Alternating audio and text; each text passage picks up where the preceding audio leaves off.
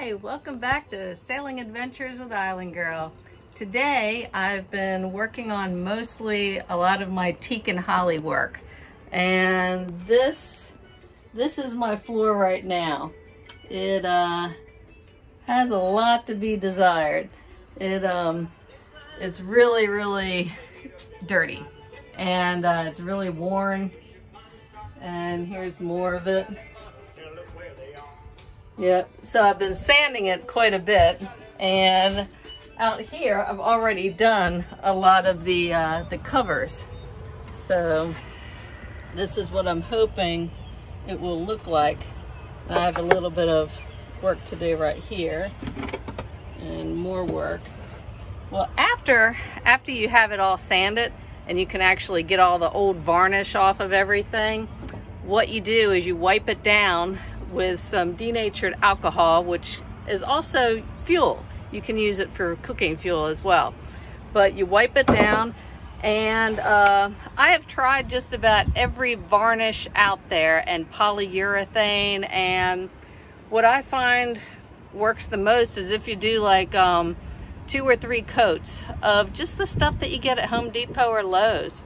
Um, make sure to get the matte finish though uh, because my first experience I got high gloss just because it looked good and the first time it got wet, shing, I slid right across the, uh, the boat deck.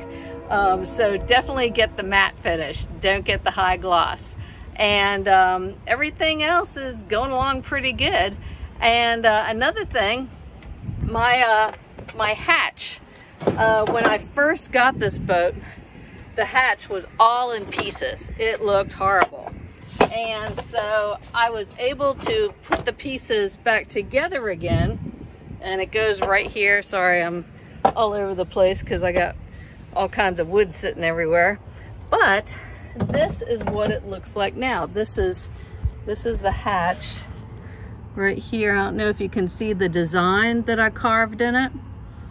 But since it's called Island Girl, I went and carved hibiscus flowers and a ton of stuff just to just to make it look a little unusual. And here's the the top part too.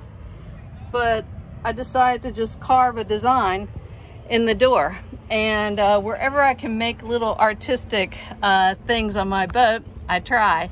Um, anyhow if anyone has ideas for me or different things they have um, found work well on their boats please share um, till then, thank you very much for tuning in to Sailing Adventures with Island Girl. This is Laura. Happy sailing. Have a good one.